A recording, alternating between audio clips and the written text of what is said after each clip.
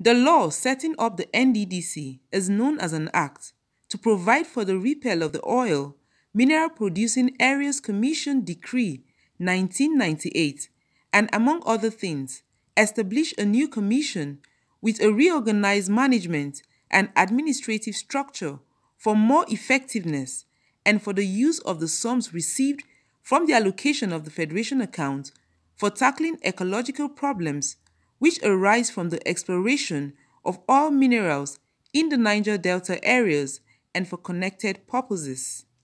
Hence, the Human Rights Writers Association of Nigeria is making a case for Imo oil mineral producing areas in the Niger Delta Development Commission regarding the top management position.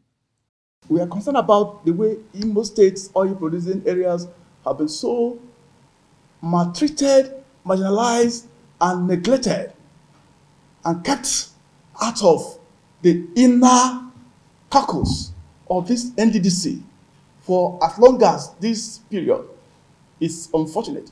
And we hope that Mr. President will use the opportunity that God has given him to hold this position of the, the president of this country to correct that uh, systemic injustice that has happened, you know, that happened in the constitution of the hierarchy of the NDDC. And very soon, the, the president is expected to announce the membership of the substantive board of the Niger Delta Development Commission. Emmanuel Onwubiko, National Coordinator Huriwa says they are concerned about the general state of infrastructural marginalization of the entire crude oil producing areas. If the NDDC is accountable and transparent with the resources, the small resources that are allocated to the oil producing areas, I think a lot of issues of poverty,